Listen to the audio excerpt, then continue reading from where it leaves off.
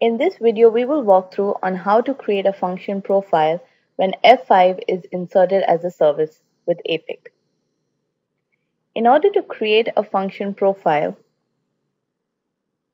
right-click on the function profile and create a profile group. Once the profile group is created, right-click on the profile group and create a function profile. Give the function profile a name.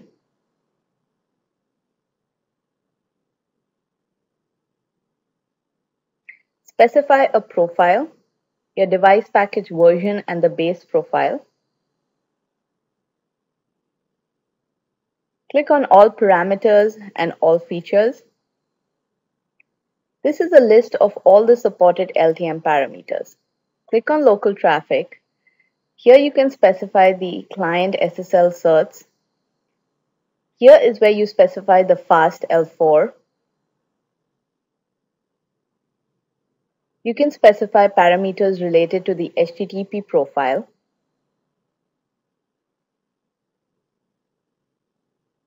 You can specify if you would want to use HTTP redirect or not.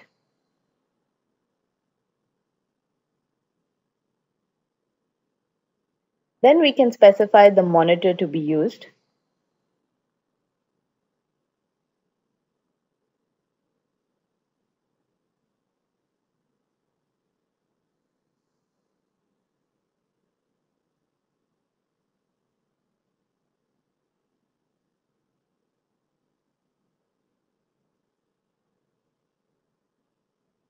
We then move on to add the pool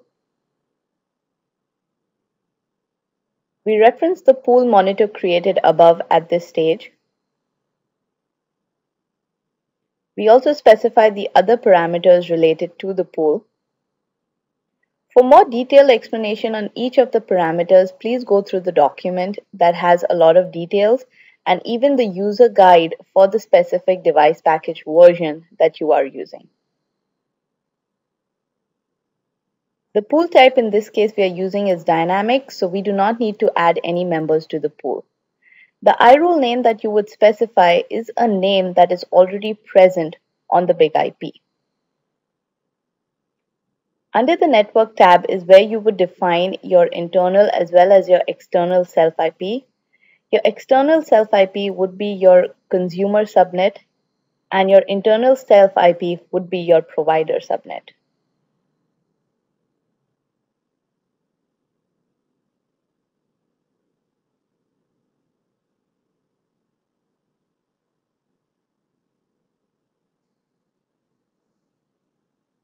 A floating IP is used in the case of an high availability setup. In this case, we are demonstrating a standalone setup.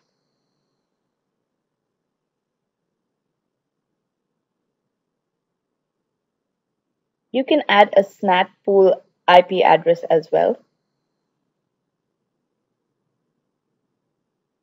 This is all under the device config folder, all parameters that are specific to the device. Then we go on to function config, which are parameters relevant to the virtual server itself. Here we reference all the profiles that we created in the device config. The HTTP profile, we reference it from above, same for HTTP redirect, and same for fast L4.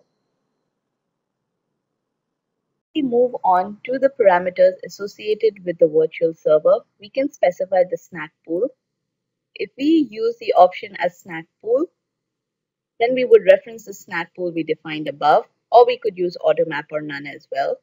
We define the other parameters like connection mirroring, persistence fallback and persistence profile would be referencing a profile that is already present on the big IP.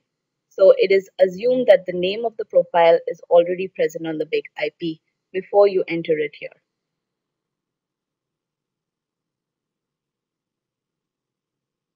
You can go ahead and specify other parameters related to the virtual server as needed.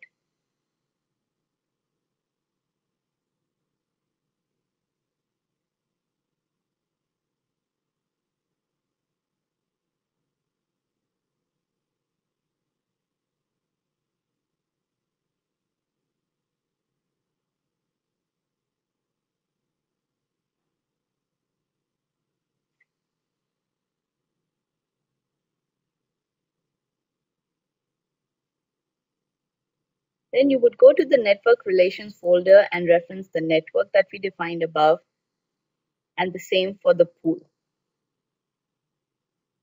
You could specify the EPG uh, connection limit and connection rate limit parameters. And in this case, the EPG destination port is needed when using dynamic endpoint attach.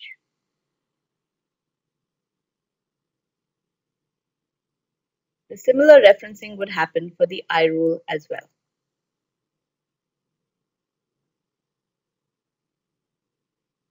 This concludes on how to add a function profile.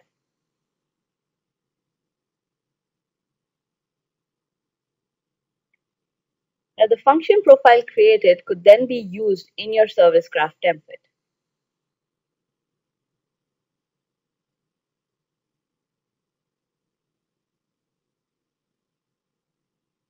And once you try to apply that service graph, it is then you would see that all the parameters that were defined in your function profile are already pre-filled and ready to be used.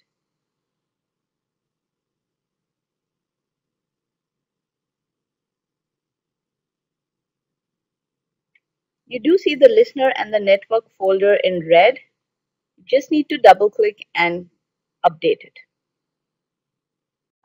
So this is how you create and use a function profile. We are now talking about on how to create a function profile for static endpoint. The initial few steps are the same on how to create a function group and a function profile. The difference would be while adding the parameters. In case of static, you would have to specify the pool members as well.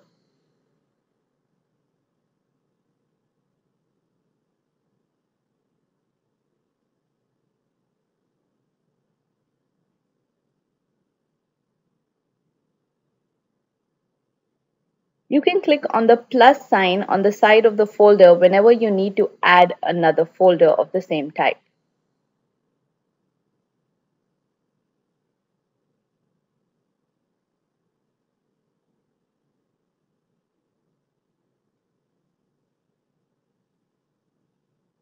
And here you would choose the pool type as static instead of dynamic.